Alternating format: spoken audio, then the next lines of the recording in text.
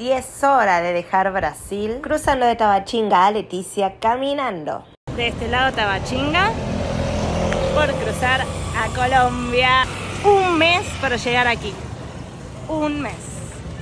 El viaje fue bastante largo, pero ya estoy bien cerquita de la fuerte. Leticia. Bueno, zona tranquila va a estar el hotel. Voy a pagar un hotelcito bastante barato, ¿eh? porque mi amigo tiene booking. Al tener el booking, lo hace ya la reserva y le sale más barato porque le hacen descuento y me va a hacer una reserva a mí. Y nada, voy a pagar más barato un hotel bien. El hotel estaba bastante alejado del centro, eso lo hacía maravillosamente silencioso. Mira la nómada en un hotel, ¿eh? La verdad que vamos a compartir el cuarto, sale más barato, así compartiéndolo súper y cómodo, con aire acondicionado. Esta es mi cama, la cama del gringo. Y vamos a, para acá, mira, vamos al pasillito. Miren qué vista, tan verde aquí. Miren.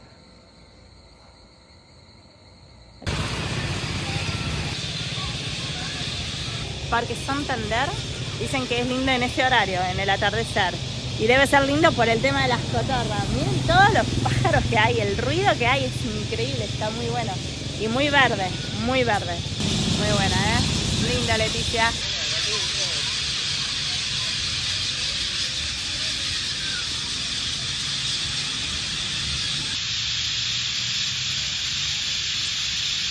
Alto quilombo acá, gente.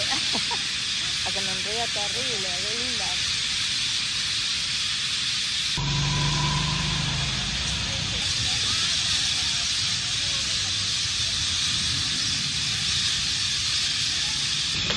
Vivo, sal y limón y mojo joven. Comerlo vivo con limón y sal. Demasiado coraje tenés que tener.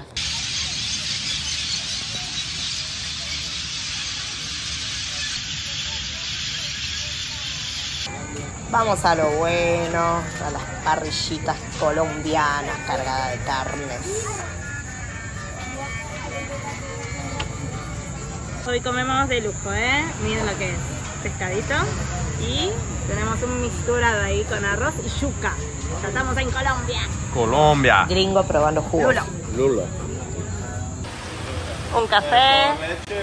Café solo.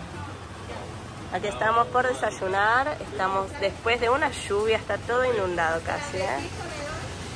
Sí.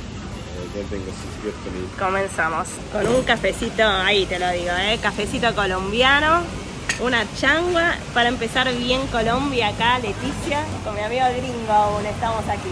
Desde Tabachinga, desde lo que es la Policía Federal, gente, esta policía se encuentra lo que es migraciones para hacer el trámite de salida del país a dos kilómetros de la frontera, o sea, tenés que ir caminando dos kilómetros más o menos para llegar hacer el trámite y ahora lo que es el ingreso de Colombia se hace personalmente también en el aeropuerto de Leticia, que también son unos dos kilómetros y poco de la frontera.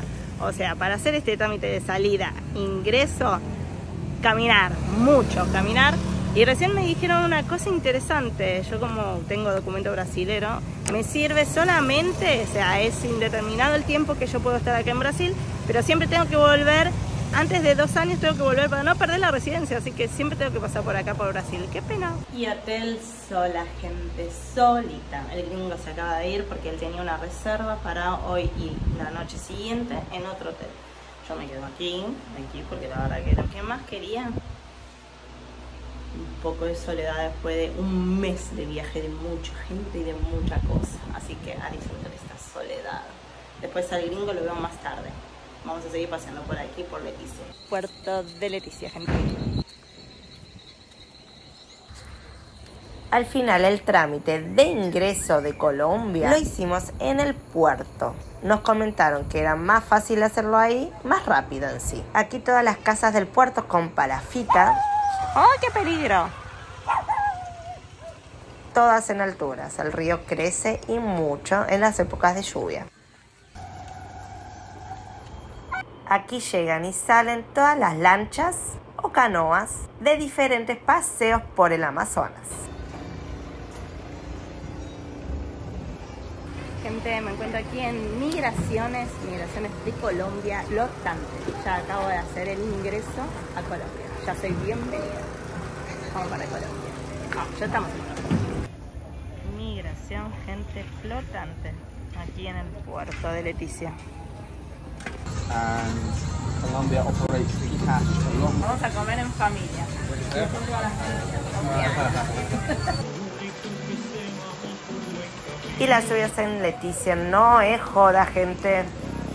Solo cuestión de minutos, todo se hace un río. Y terminamos el capítulo así, el cual te comento que me tiró en un lago cargado de pirañas. ¿Quieres ver qué pasa? Nos vemos en la próxima, Nómadas sin destino.